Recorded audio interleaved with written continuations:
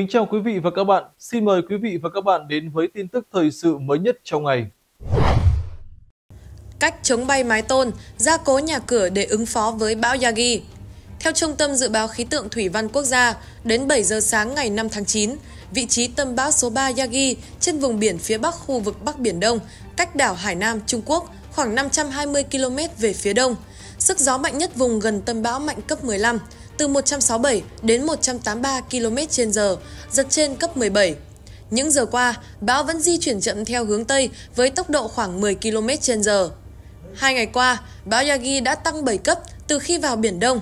Các chuyên gia nhận định cường độ có thể tăng lên thành siêu bão cấp 16, giật trên cấp 17 trong hôm nay trên vùng biển phía bắc khu vực Bắc Biển Đông, nhanh hơn so với những nhận định trước đó.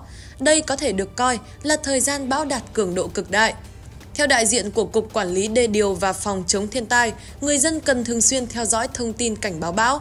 Trước khi bão đổ bộ vào đất liền, cần gia cố, trăng chống nhà cửa, cắt tỉa cành cây.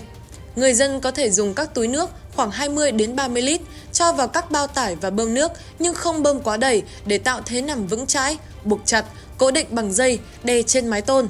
Ngoài ra, người dân cũng có thể dùng bao tải đất, cát để thay thế nước. Đại diện Cục Quản lý Đê điều và Phòng chống thiên tai khuyến cáo. Ngoài ra, người dân cần chèn chống các cửa của nhà, loại bỏ những cây cành bị chết, bị bệnh. Đồng thời, xác định các vật dụng trong sân nên mang vào trong nhà, vệ sinh máng nước mưa, gầm cầu thang ngoài, giếng cửa sổ, đường thoát nước, đường ống thoát nước. Cũng theo đại diện Cục Quản lý Đê điều và Phòng chống thiên tai, trước khi bão đổ bộ vào đất liền, người dân cần xác định vị trí an toàn để trú ẩn, chủ động sơ tán khỏi các nhà không đảm bảo an toàn, vùng ven biển, cửa sông đề phòng nước dâng. Đồng thời, giữ trữ nước uống, lương thực thực phẩm, thuốc men, các vật dụng cần thiết đủ để dùng ít nhất 7 ngày. Nếu không có lệnh sơ tán của chính quyền, hãy tìm nơi trú ẩn trong nhà cho gia đình mình. Nơi an toàn nhất khi có bão là phòng bên trong không có cửa sổ. Các thành viên trong gia đình có thể bị chia cắt trong một cơn bão. Hãy chuẩn bị bằng cách lập một kế hoạch liên lạc, tiếp cận với nhau. Chuẩn bị một bộ đồ dùng cho gia đình, đèn pin, đài radio, quần áo ấm, chăn, bộ sơ cứu, thuốc men, nước đóng chai và thực phẩm không dễ hư hỏng. Các gia đình có trẻ em nên để mỗi trẻ tự tạo gói đồ dùng cá nhân của mình. Theo đại diện Cục Cứu hộ Cứu nạn Bộ Quốc phòng, hơn 425.000 chiến sĩ và trên 4.000 lượt phương tiện tàu thuyền máy bay đã sẵn sàng để ứng phó với bão Yagi. Chiều 4 tháng 9, tại cuộc họp ứng phó với bão số 3 do Bộ trưởng Bộ Nông nghiệp và Phát triển Nông thôn Lê Minh Hoan chủ trì, đại diện Bộ Tư lệnh Bộ đội Biên phòng cho biết Bộ Tư lệnh Bộ đội Biên phòng đã có hai công điện chỉ đạo Bộ đội Biên phòng các tỉnh tổ chức kiểm tra giả soát nhằm ứng phó với bão số 3 và bổ sung cơ sở vật chất để đón nhân dân tránh trú. Đại tá Nguyễn Văn Khanh, Phó Tham mưu trưởng Bộ đội Biên phòng nêu rõ, đơn vị đã yêu cầu Bộ đội Biên phòng các tỉnh hỗ trợ địa phương kiểm tra, nắm chắc những địa điểm dễ ngập úng, lũ quét, di rời nhân dân đến nơi an toàn, chẳng chống nhà cửa, lồng bè.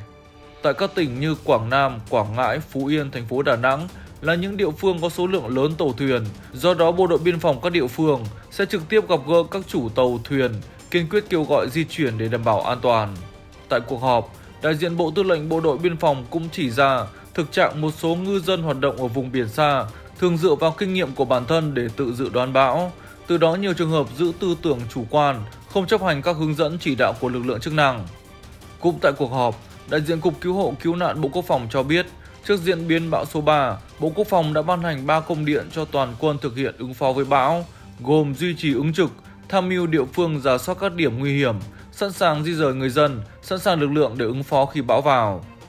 Theo đại diện Cục Cứu hộ Cứu nạn, hơn 425.000 chiến sĩ với hơn 4.000 lượt phương tiện tàu thuyền máy bay đã sẵn sàng để ứng phó với bão, tích cực chỉ đạo các quân khu quyết liệt triển khai các chỉ đạo của chính phủ, tập trung nỗ lực cùng cấp ủy chính quyền địa phương ứng phó với bão. Trước thực trạng nhiều ngư dân chủ quan trước bão và những cảnh báo yêu cầu của lực lượng chức năng, đại diện Cục Cứu hộ Cứu nạn cho rằng vẫn phải tuyên truyền với tinh thần mưa dầm thấm lâu, đặc biệt là phải tuyên truyền mạnh với các chủ tàu, cương quyết di rời nhân dân ở khu vực nguy hiểm đến nơi an toàn. Rút kinh nghiệm những trận mưa bão vừa qua thiệt hại về người sau bão, coi tính mạng con người là trên hết.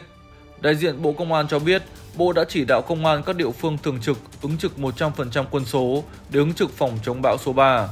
Đặc biệt, lực lượng công an cơ sở phối hợp chặt chẽ với các đơn vị, cấp ngành trên địa bàn để đảm bảo công tác nắm hộ, nắm người để tuyên truyền và vận động nhân dân. Bên cạnh đó, đảm bảo an toàn cho người dân trên các đảo, tròi canh, lồng bè. Hiện tại, để chủ động ứng phó bão số 3, một số đơn vị chuyên trách của Bộ và Công an các tỉnh, thành phố ven biển từ Quảng Ninh đến Nghệ An đang sẵn sàng huy động gần 35.000 cán bộ chiến sĩ. Ngoài ra, còn có hơn 1.000 phương tiện thủy bộ và hơn 1.200 máy phát điện để phục vụ việc ứng phó với bão số 3. Trong những ngày tới, Ban chỉ đạo Bộ Công an chỉ đạo công an các địa phương căn cứ vào diễn biến của bão số 3 và mưa lũ để triển khai ngay các phương án, kế hoạch và cùng với các cấp ngành để đảm bảo an ninh trật tự, an toàn cho nhân dân, giảm thiểu mức thấp nhất thiệt hại về người và tài sản do thiên tai gây ra. Khả năng bão số 3 đổ bộ vào vịnh Bắc Bộ là 70 đến 80%. Cường độ bão mạnh lên tới cấp 15, 16. Khoảng từ đêm ngày mùng 6 tháng 9, dù cách xa nhưng rìa bão vẫn gây mưa lớn cho miền Bắc. Chiều ngày mùng 4 tháng 9, Trung tâm Dự báo Khí tượng Thủy văn Quốc gia đã tổ chức cuộc họp thông tin với báo chí về diễn biến cơn bão số 3. Theo Phó Giám đốc Hoàng Phúc Lâm, hiện nay bão số 3 đã mạnh lên cấp 12, 13, tăng lên 4 đến 5 cấp so với thông tin ban đầu về bão. Các dự báo của Trung tâm về quỹ đạo và xu hướng tăng cấp vẫn giữ nguyên so với các bản tin trước đây. Tuy nhiên, nhận định về cường độ mạnh nhất của bão số 3 có tăng hơn. Cụ thể, khoảng chiều ngày 6 tháng 9, bão số 3 có thể đạt đến mức mạnh nhất là cấp 15 đến 16, giật trên cấp 17. Khi đó, bão đang ở gần phía đông của đảo Hải Nam Trung Quốc. Sau đó, do ma sát tiếp xúc với đảo Hải Nam và bán đảo Lôi Châu Trung Quốc, cường độ bão sẽ suy yếu trước khi vào vịnh Bắc Bộ. Khả năng bão vào vịnh Bắc Bộ là rất cao, khoảng 70 đến 80%. Nhưng vẫn có khoảng 20 đến 30% bão sẽ đi cao hẳn lên bán đảo Lôi Châu và vào đất liền Trung Quốc. Trường hợp này, bão sẽ không vào vịnh Bắc Bộ. Ông Lâm nhận định, đánh giá nguyên nhân trong 24 giờ qua, bão số 3 liên tục tăng cấp, ông Lâm cho biết. Điều kiện môi trường ở khu vực Bắc Biển Đông đang thuận lợi cho quá trình phát triển bão với nền nhiệt cao 31 độ, duy trì nhiều ngày qua.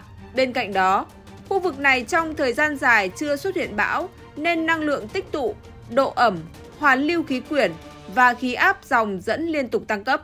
Cường độ cực đại của bão sẽ đạt vào chiều ngày 6 tháng 9, trước khi gặp các điều kiện không thuận lợi cho sự phát triển của bão như yếu tố địa hình.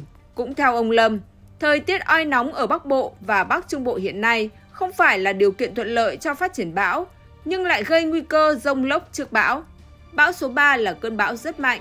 Khi đạt cường độ cực đại, dù tâm bão còn cách xa đất liền nước ta từ 400 đến 500 km, nhưng hoàn lưu trước bão đã có thể gây mưa rào và rông cho các tỉnh phía Đông Bắc Bộ, trong đó có thủ đô Hà Nội, ông Lâm nói.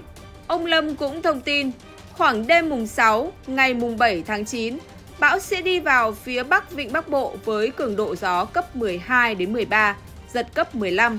Vùng ven biển Bắc Bộ và Bắc Trung Bộ có gió mạnh cấp 10 đến 11, giật cấp 12. Trong ngày mùng 6 tháng 9, khu vực Vịnh Bắc Bộ, các huyện đảo Bạch Long Vĩ, Cô Tô, gió sẽ mạnh dần lên cấp 6, 7, giật cấp 9. Sau đó sẽ nhanh chóng tăng lên cấp 10 đến 13 khi bão vào Vịnh Bắc Bộ. Từ sáng và trưa mùng 7 tháng 9, ở đất liền bắt đầu chịu tác động của gió bão. Thời gian nguy hiểm nhất của gió mạnh là từ chiều và đêm mùng 7 tháng 9 đến sáng ngày mùng 8 tháng 9. Dự báo bão Sobayagi sẽ gây ra đợt mưa lớn diện rộng ở các tỉnh Bắc Bộ và Bắc Trung Bộ. Mưa to đến rất to sẽ gây ra một đợt lũ, ngập lụt diện rộng tại khu vực đồng bằng ven biển. Các tỉnh từ Thanh Hóa, Hà Tĩnh, mưa lớn tập trung trong thời gian ngắn là mối nguy đặc biệt về lũ quét, sạt lở đất, tập trung tại vùng núi Trung Du của Bắc Bộ và Bắc Trung Bộ. Theo ông Lâm, Quảng Ninh, Hải Phòng, Thái Bình, Nam Định, Ninh Bình là 5 tỉnh, thành phố được dự báo chịu tác động mạnh nhất của bão. Bão số 3 được nhận định có thể đạt cấp siêu bão trên khu vực Biển Đông. Khi vào vịnh Bắc Bộ, bão đi qua đảo Hải Nam và phía bắc bán đảo Lôi Châu, Trung Quốc nên đã giảm cấp và không còn là siêu bão. Đây cũng có thể được coi là cơn bão mạnh nhất đi vào vịnh Bắc Bộ trong 10 năm trở lại đây. Mức độ ảnh hưởng có khả năng tương đương cơn bão số 3 năm 2014 và bão số 1 năm 2016. Các đài khí tượng quốc tế đều có chung nhận định với cơ quan khí tượng Việt Nam về quỹ đạo và xu hướng của bão số 3. về cường độ phổ biến từ cấp 15 đến cấp 17. Dự báo xa hơn, ông Lâm cho biết, từ nay đến cuối năm, tình hình mưa bão sẽ đạt cao điểm vào tháng 10. Trong tháng 9 tập trung ở các tỉnh phía Bắc. Đến tháng 10 và 11 vào miền Trung, đặc biệt là khu vực Trung Trung Bộ.